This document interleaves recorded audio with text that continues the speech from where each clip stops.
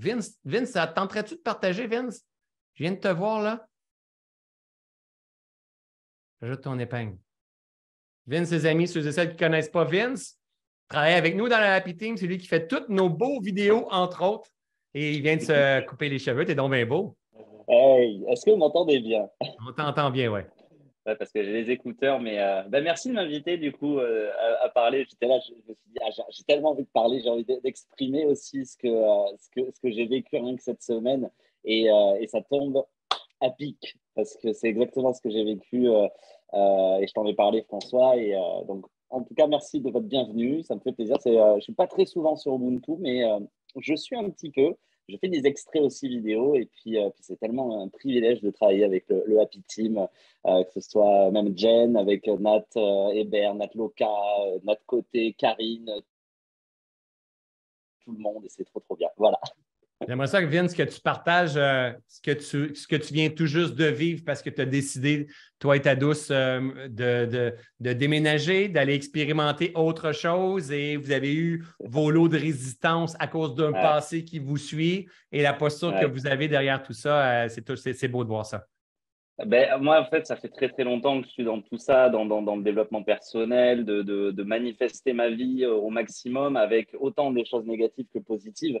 Euh, C'est-à-dire que ce que tu disais tout à l'heure, et je pense que beaucoup te, rejoignent dans, dans, cette pensée, on attire ce à quoi on vibre, euh, ce à quoi on, on euh, ben, soit, soit, à quoi vibre. Et si on a attiré du négatif ou du positif, c'est nous qui l'avons attiré. Alors après, il y a différents styles de pensée qui vont le dire différemment. Euh, que ce soit dans les religions, dans, les, euh, dans le développement personnel avec d'autres coachs ou autres. Mais moi, ça fait vraiment une dizaine d'années que je, pratique ça et, j'essaye toujours de, relativiser par rapport à ça. Et là, vous allez voir que ça va parler. Euh, ça fait à peu près euh, allez, un ou deux mois qu'on se projette avec, avec ma chérie de partir sur Bordeaux. Alors, pas la prison au Québec, parce que j'ai appris que Bordeaux, c'était une prison. on, projette d'aller sur Bordeaux en, en, France parce que euh, ma chérie est de Nice, donc qui est dans le sud-est de la France. Elle est à peu près à 7 heures de route. Euh, moi, je suis dans le milieu de la France et on s'est dit, mais comment on peut trouver un moyen, autant pour elle que pour moi, d'être proche de ma famille, euh, proche de la sienne, qu'on puisse en même temps être mobile dans toute la France, que ce soit par le biais de l'aéroport, par le biais du train, par le biais de, de la voiture ou autre. Et on s'est décidé à partir sur Bordeaux.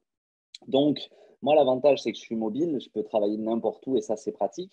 Euh, elle, du coup, a retrouvé un, nouveau, euh, un nouvel emploi, enfin, cherché un nouvel emploi. Et on s'est dit, écoute, on cherche sans chercher. On va voir ce que ça donne. On, fait, euh, on scrute les petites annonces, on scrute les, les agences de recrutement et on verra. Et puis, début, fin août, elle commence à faire des, des, agences de recrutement. Donc, on va en voir une première. Et je suis toujours à essayer d'être un peu comme tu fais avec Nathalie, d'essayer de la faire relativiser, lui dire écoute, si c'est pas pour toi, cette agence, c'est que ça doit pas être pour toi. C'est-à-dire que si c'est refusé, euh, il peut y avoir un souci, l'entente est peut-être pas bonne. Je lui dis, c'est OK, on reste sur ça. Euh, il y en aura d'autres qui vont appeler. Et puis, s'il n'y a personne qui appelle ou si ça ne donne pas suite, on partira ailleurs. Et euh, du coup, elle fait une première, un premier recrutement. Bon, pas de réponse avant 15 jours. Donc, on s'est dit, bon, ben, c'est pas grave. On cherche quand même un appartement. Et puis, on a un budget un peu plus serré, puisqu'on ne sait pas si toi, tu vas avoir du travail tout de suite, mais c'est pas grave. Ensuite, une semaine après, euh, elle postule à d'autres agences et là, elle a un rendez-vous le vendredi. Le vendredi après-midi, elle y va toute seule. Et là, elle reçoit, euh, lui dit, bon, ben, on vous tient au courant dans la, dans la, dans la soirée. Mais son métier qui est architecte, c'est tu, on te donne la réponse le vendredi, tu viens travailler le lundi. Du coup, elle est allée chercher ça et euh, le vendredi soir, elle avait la réponse pour embaucher le lundi sur Bordeaux. Ce qui fait que là, plein de choses se mettent se mettre en place, c'est on va se loger comment? On est en plein mondial de rugby. Bordeaux est une des villes qui accueille aussi euh, euh, le, les matchs. On a euh, besoin de trouver un appartement tout de suite. On n'a pas énormément de budget puisqu'elle n'a pas de salaire. Moi, j'ai cet avantage d'avoir voilà, le, happy team, de, de, travailler un peu à côté. Mais Bordeaux, c'est une ville très très chère. Donc on s'est dit, écoute, on va essayer d'aller de Airbnb en Airbnb ou en appart-hôtel et je vais faire des recherches d'appartements. J'ai posé mes bases sur ce que je voulais comme appartement. On voulait quand même quelque chose d'assez grand pour nous deux. Parce que là, on est dans quelque chose de très petit et on s'est dit, il faut quelque chose de grand. On voudrait au moins deux chambres pour qu'on puisse avoir du, monde. On voudrait quand même être euh, dans un endroit sécurisé, avoir une place de parking parce que vivre en ville, c'est compliqué. Euh, voilà, donc je pose, je note tout ça et je me visualise comme si j'étais déjà dans cet appartement. Je, je me vois déjà dans, comme si c'était déjà fini, comme si j'étais dedans. Et là, je postule les annonces, les annonces et tout ça. Et puis à un moment donné, je me dis, mais euh, il y, a beaucoup d'arnaques, il y en a qui ne répondent pas. On passe la semaine dernière dans une, euh, un, petit lieu je dis, mais c'est là où il faut habiter, c'est magnifique, c'est trop beau, je vais essayer de chercher des annonces sur ça et tout. Le, lendemain, je reçois une agence immobilière qui me euh, contacte et qui me dit, bon, ben, on, vous fait visiter ce soir. je ne savais pas où était l'adresse. Et là, je regarde l'adresse, c'était dans le, secteur qu'on avait déterminé. Et là, je dis, bon, allez, le premier déjà effet, c'est de trouver quelqu'un pour ça. On visite et il y avait déjà du monde. On s'est dit, notre dossier, il est un peu bancal. Moi, je suis indépendant. Elle, vient de signer son, son, euh, son, contrat, donc ça va être un peu compliqué, mais on lui envoie tout. Et on attend, on attend, on attend. Il fallait la validation du propriétaire, il fallait la validation d'une assurance, il fallait la validation de l'agent immobilier. Donc, ça, faisait beaucoup de contraintes. Et euh, j'ai dit, allez, c'est pour nous. Si c'est pas pour nous, c'est OK. Si c'est pour nous, c'est encore plus OK. Le lendemain, il manquait des, des, des, fichiers. On envoie tout. Bon, on attend. Elle t'a contacté? Non, pas encore. On arrive au vendredi dernier. Il fallait reprévoir, du coup, de, euh, de, de, de, repartir une semaine sur Bordeaux sans logement ou avec un logement, on ne savait pas. On était un peu dans le, euh, au dépourvu. Du coup, le vendredi soir, on repart de Bordeaux. Et là, elle nous envoie, il manque encore un fichier. bon, on envoie et euh, le week-end passe. Bon, on réserve notre appart pour elle. On attend, on attend. Le lundi, tu eu des nouvelles? Je dis non. Le mardi, tu eu des nouvelles? Non. Et là, elle nous relance, l'agent la, immobilier, en disant Vous inquiétez pas, je ne vous ai pas oublié. Déjà, le propriétaire est OK. Moi, je suis OK. Il manque juste l'assurance. Et là, j'en parlais même avec François. J'ai dit Bon, Là, il va falloir prier, il va falloir euh, être positif pour ça, mais j'y croyais vraiment. J'y croyais vraiment.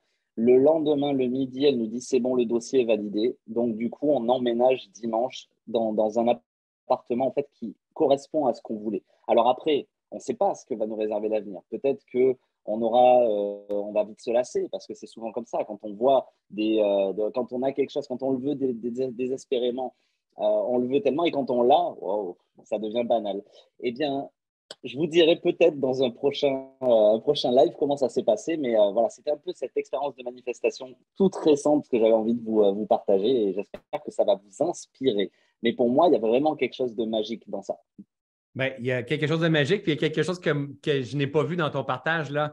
C'est que quand que nous, on s'est parlé, tu étais dans une énergie que ça prend un miracle à quelque part parce qu'il y avait un, bagage de crédit qui n'était pas favorable à vous permettre d'avoir tout ça.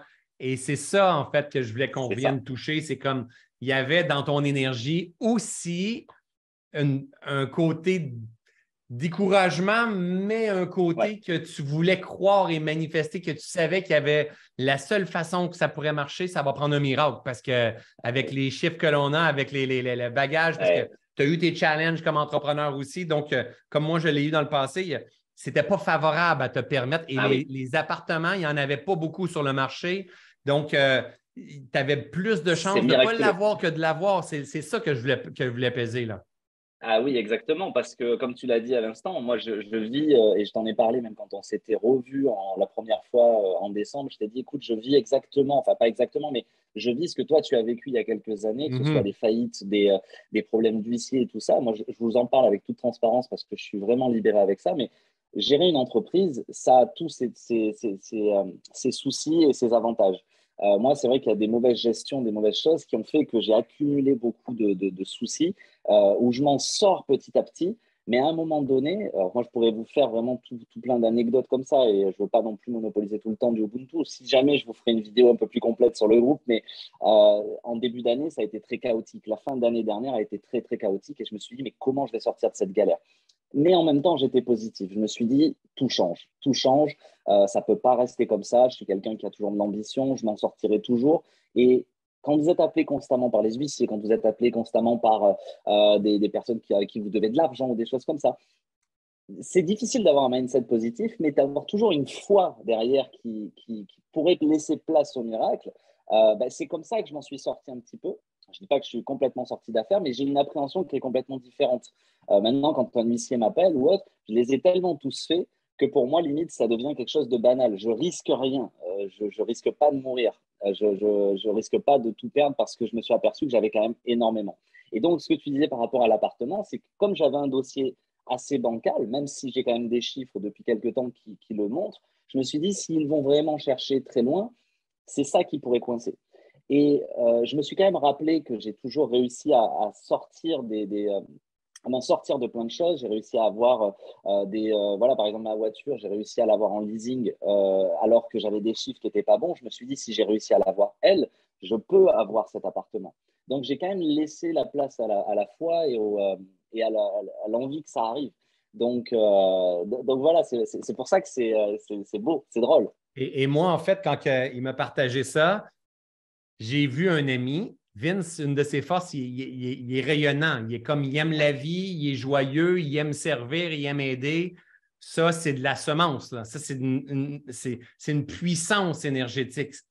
Cependant, comme n'importe qui, il a aussi son discours intérieur, il a aussi ses, ses appréhensions, ses peurs, il, avance dans, sa quête. Alors, quand il me partageait ça avec toute humilité, mais moi, je n'ai pas vu quelqu'un qui a euh, des, challenges derrière et tout ça. J'ai vu un ami, un homme qui fait son chemin avec ses, challenges adaptatifs en disant est-ce qu'on va avoir une place pour se loger? Parce qu'il aurait pu nourrir c'est impossible. Bordeaux, ça coûte trop cher. On va être rejeté. On n'y arrivera jamais. Il aurait pu nourrir toutes ces insécurités-là qui ont été présentes. Il l'a fait un peu, un tout petit peu.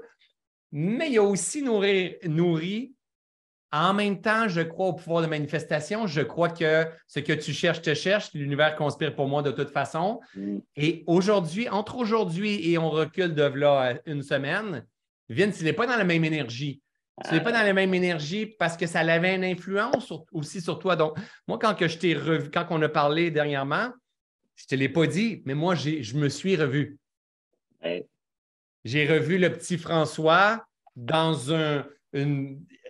il faut que je me sorte de ce qui. Mais en même temps, je te l'ai dit, tu as, été dans mes prières ce soir-là. Hein, j'ai fait comment que, que, Vince puisse connaître l'abondance, la prospérité, le bonheur véritable et toutes ces choses-là mm. pour que les choses puissent facilité parce que tu es une bonne personne.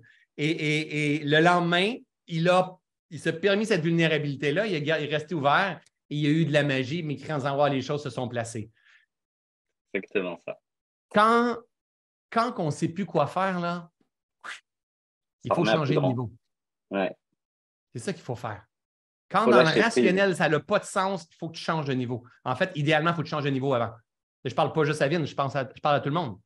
Quand rationnellement, ça n'a pas de sens, on est dans un cul-de-sac constamment, puis de cause à effet, ça ne fonctionnera pas, puis tout ça, mais il faut juste que tu viennes changer la source. Il faut que tu viennes jouer dans un autre niveau. Et tu n'as aucune idée de voir comme moi, la voiture, je ne l'ai pas pris, mais de passer de dans deux ans à dans trois semaines et devant 11 ou 12 personnes, quelque chose qui n'a pas de sens. La maison ici, il y a quelque chose qui n'a pas de sens quand on l'a acheté. Il y en a plein mais quand on change de niveau, on est capable de manifester. Et, et manifester un appart à 1000 euros par mois, c'est la même affaire que manifester quelque chose à un million de dollars. Quand on commence à saisir ça, ça ne demande pas plus d'énergie, c'est ça l'affaire. Ça demande une posture différente. Ça demande un éveil différent. Ça demande un engagement différent. Ça demande un Vince qui dit Waouh! As-tu vu? C'est qui, moi? Regarde, mon appart, génial, je l'aime, je suis heureux au travail de tout ça, fantastique. Et je continue de manifester, je continue de grandir, je, continue... je ne dois pas à personne, je n'ai pas besoin d'une bonne personne. Je suis, tout simplement. Et toi, tu portes déjà cette lumière-là, cette gratitude-là par rapport à la vie et tout ça. Donc, euh, je suis très, très heureux pour toi, mon ami, euh, que les choses se passent. Là, tu déménages ce week-end, je pense, hein? Là, j'ai Hélène qui arrive dans, euh, quelques, dans une petite heure, euh, qui me rejoint. Les cartons sont prêts. On fait deux, trois allers-retours maximum, même deux allers-retours maximum.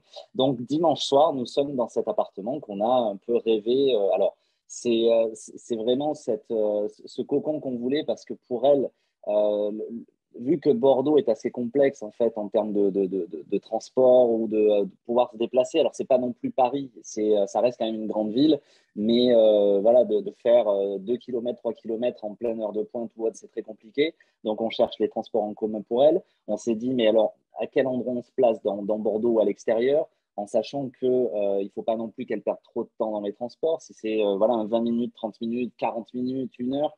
Donc là, on s'est dit, il faudrait que ce soit le plus accessible pour elle, euh, pour moi, que je puisse euh, aller euh, sur le bassin d'Arcachon à l'océan quand on a envie d'y aller, que je puisse prendre l'avion pour aller au Québec, pour aller en Suisse, pour aller voilà. Et du coup, on est au, centre vraiment de quelque chose qui est assez fou pour nous parce que elle est à 20 minutes porte à porte vraiment de son travail. C'est-à-dire qu'elle a à faire deux minutes pour aller rejoindre le tramway. Alors, vous avez ça, vous, au Québec, des tramways? Pas vraiment, mais on sait c'est quoi. Voilà, des trains, euh, des trains de ville, des petits trains de ville, des métros euh, surélevés. Et, euh, et elle est à deux minutes à pied pour y aller, deux minutes après à pied pour sortir du métro. Et elle a, elle a quoi Une vingtaine de minutes entre les deux. Ça ne pouvait pas être mieux placé. Alors, il y a toujours mieux, il y a toujours moins bien, mais c'est ce qui s'est offert pour nous à ce moment-là. C'est la justesse. Il y a toujours mieux, il y a toujours mieux que, que, ce qu'on vit, il y a toujours mieux, toujours, mais ce n'est même pas important de s'intéresser à ça. C'est la justesse il y, a, quelque part un propriétaire d'un appartement qui cherche de bons locataires et qui vient de trouver ce que tu cherches, te cherche. Exactement. Dieu cherche Dieu tout le temps. Le problème, c'est qu'on reste au niveau du mental. On essaie de eh, non, Dieu, Dieu cherche Dieu. Donc, toi, tu es, je ne parle pas juste à Vin, je passe à, à tout le monde. Toi, tu es quel type de Dieu?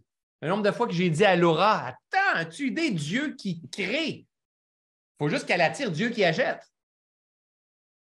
Comprends? moi, j'ai été le Dieu qui achète des chutes. Mais il y a quelqu'un à quelque part, à un à quelque part sur la planète, c'est ça que je suis en train de mijoter présentement, qui a un coin de pays incroyable, mais il ne veut pas le vendre à un investisseur immobilier. Mais ce Dieu-là existe pour un autre Dieu achète des coins comme ça pour les préserver. Moi, je veux être ce Dieu-là. Je ne sais pas si vous me suivez. Il existe toujours ce que vous cherchez. Cependant, si vous ne savez pas qui vous êtes, comment voulez-vous appeler ceux qui vous cherchent? C'est impossible. C'est simplement impossible. Alors, just be, juste être pleinement, dire, hey, voici ma résonance. Qu'est-ce que la vie demande de faire à travers moi en ce moment? Qu'est-ce que la vie demande de faire à travers moi en ce moment? C'est qu'est-ce que Dieu demande de faire à travers moi en ce moment? Et, euh, après ça, c'est de dire, OK, let it go, je laisse ça aller et j'appelle à moi l'équivalent de ma fréquence. Donc, Vince, bravo. Puis c'est là, on prend ton appart, mais ça pourrait être la même affaire juste avant de commencer à travailler avec moi.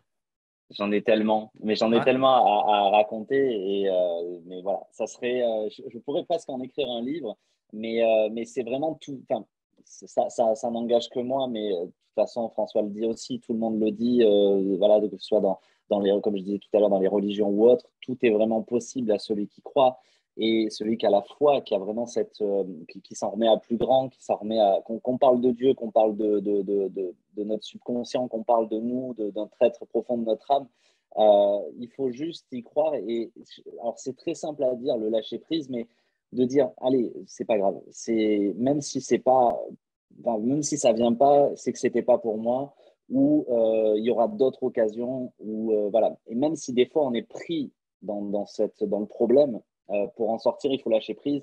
Il faut se détacher et dire bon allez, je m'en remets à plus grand. Fais ta part, moi je fais la mienne. Et ça c'est c'est très difficile parce que pour l'avoir vécu aussi en début d'année, même en étant quelqu'un de positif, il m'arrive des fois d'avoir des pertes de sens et tout ça le lendemain ne sera jamais pareil. Euh, chaque jour est différent.